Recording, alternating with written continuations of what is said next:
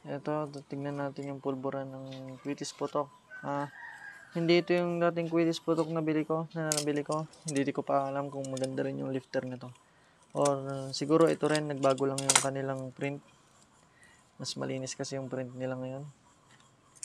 Tsaka mas blue na blue. Eh, light blue lang yung dating binibili ko. Tsaka napakagaan naman na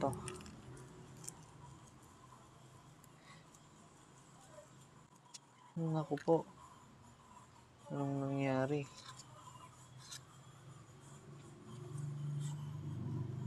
Ang lalim ng kanyang ano, lifter.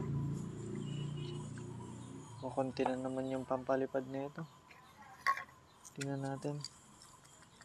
Butas nga pala to. Kaya ako inano. Kaya ako ganyan. Naghalo na yung lupa at saka yung pulbura.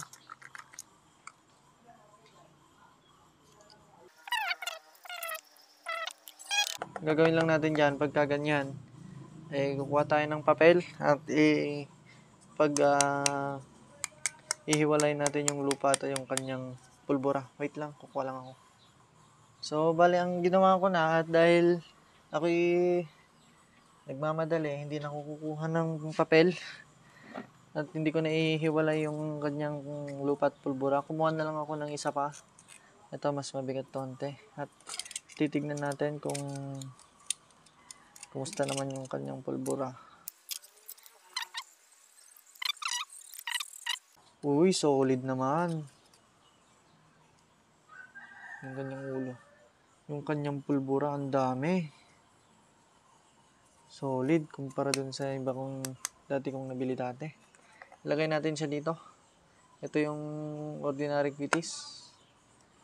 Tignan natin kung lalampasan niya yung linya. Sinsirin natin yan, syempre. Solid, guys. Madami yung pulbura niya.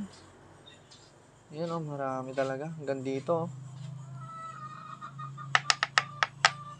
Wait lang, kukunin ko yung isa pang panukat. Yan. Kukuha ko lang. Ito siya. Tingnan natin ulit, lipat natin. Tingnan nga natin kung mapupuno niya to. Nako guys. Sinsirin natin. Yun oh, puno niya oh. May natira pa.